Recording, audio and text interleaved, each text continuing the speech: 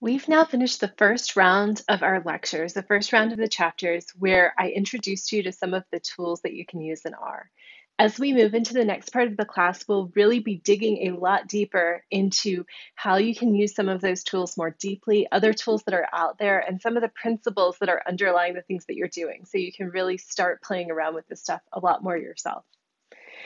Today, we're going to talk more about one of those principles and then see some rules to put that into action. The principle in this case is something called tidy data. So, we've been a little bit lucky before where we've used data sets that were really nicely uh, kind of formatted to work well with all of the tidyverse functions and tidyverse packages. But it turns out that sometimes you will get your data in the wild and it won't be in a format that's quite as easy to play around with that. So there's a wonderful paper that came out a few years ago. It's by Hadley Wickham, who also created some, uh, um, most of the packages that are in the Tidyverse. And this whole package talks about the idea of how if you follow certain rules with your data, it's going to be very easy to work with it, including using the tools and things like dplyr and ggplot2. So I've put a link in here to that paper, and the material in the slides in this first lecture is coming directly from that paper, including the examples. You will be responsible to read this paper for the quiz on this section. This is one of the few required readings that we have over, over this course.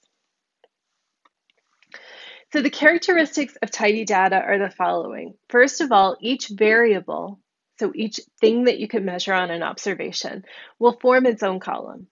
Second, each observation, each kind of unit that you measure, whether it's a study subject or whether it's, it's a day if you're measuring weather data, each of those forms its own row.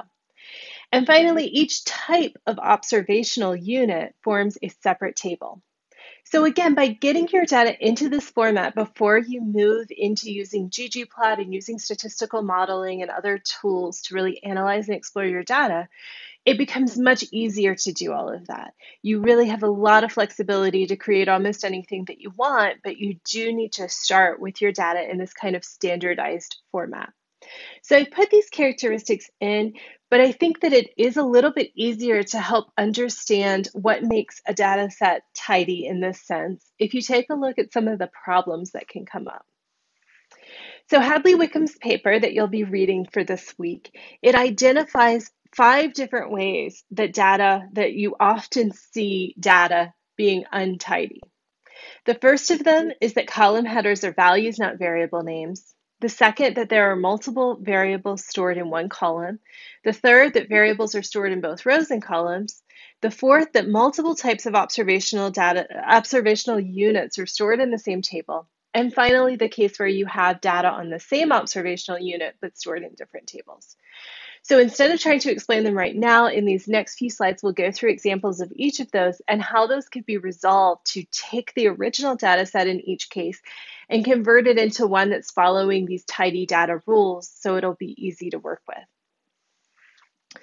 So the first case is that column headers are values, not variable names. Again, this is a way that you often see data breaking the rules for that tidy format. So this is an example in this case, it's giving some different religions, giving different annual incomes, and then the numbers in the cells are some count. This might be for a census or something like that, where it's giving um, number of people or number of households that fall in each of those categories. So in this case, one of the things that we likely would care about are those income levels. We might want to do something like facet plots by income levels. Um, however, these are stored up in the column names. When we're doing everything with ggplot and with the different kind of tidyverse uh, uh, functions, we're working with stuff that's in a column. That's an easy way for us to work with stuff. If we have things in the column names, that becomes much harder to work with. So to make this data tidy, we want to take this information out of the column names and have it in its own column where we can really work with it.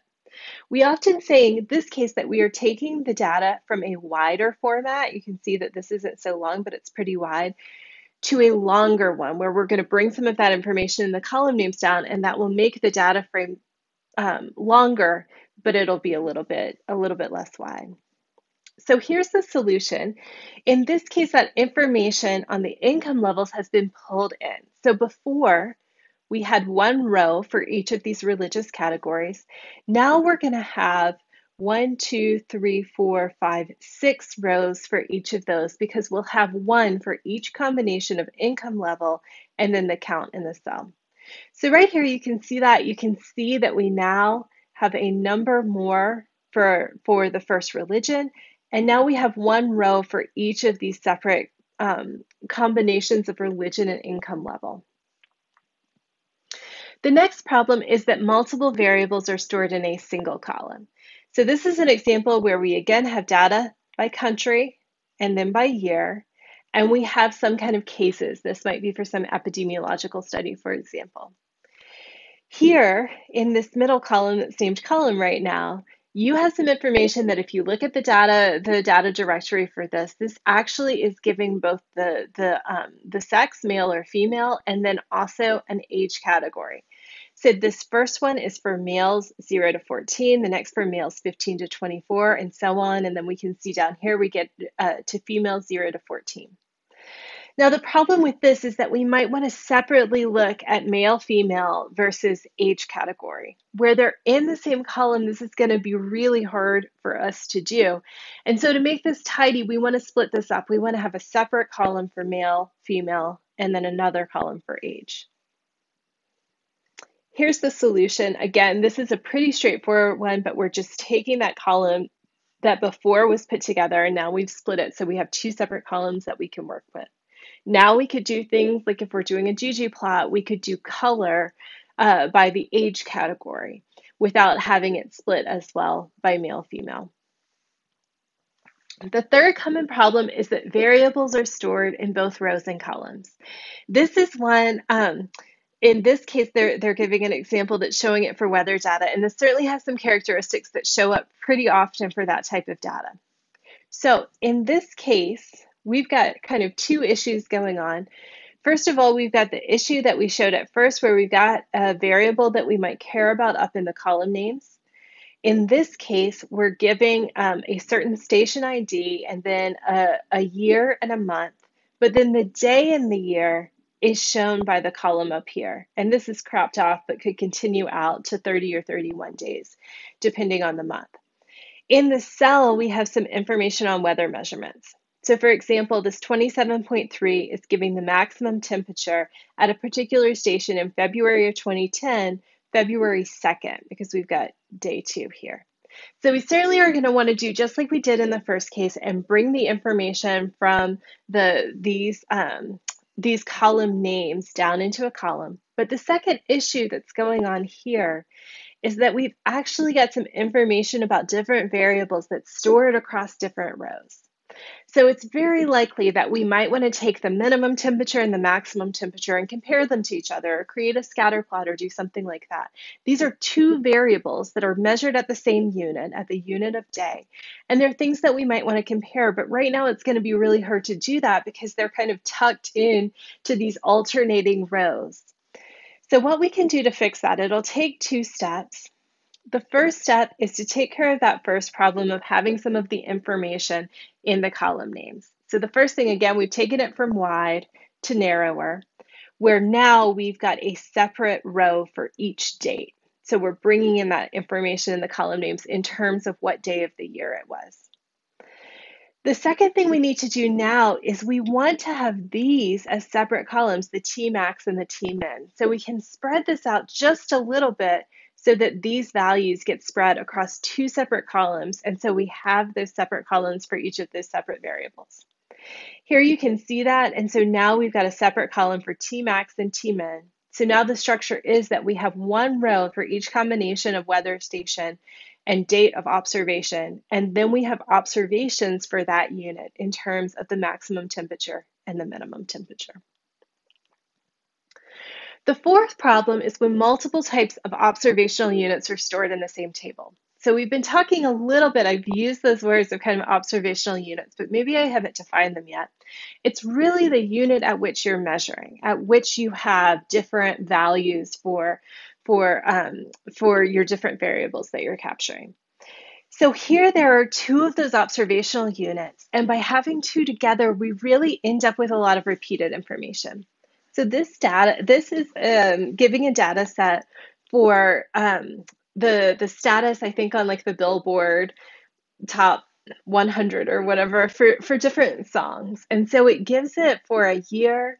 It gives a lot of information about the song, like the artist, the time, the track.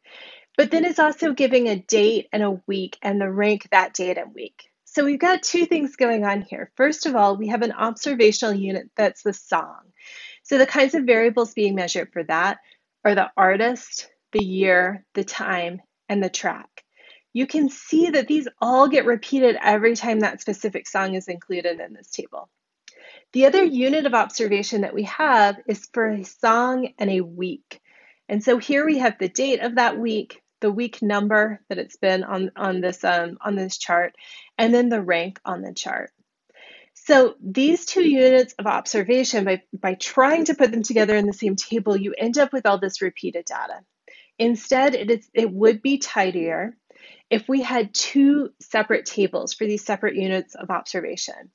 One where we include the information where the unit of observation is the song, so the artist, the track, and the time. And then the other one where we include just the date and the rank for that date. So here that's showing that second unit of observation. In this case, an ID has been added that could link between those two. In some cases, you would have um, something something that, that's identifiable within the, the data itself. So the the um, the name of the song, for example. However, for, for musical songs, that's not the case where you can be guaranteed that you don't have two of the same. So an ID is helpful here to make sure that you have this distinguishable information for each song.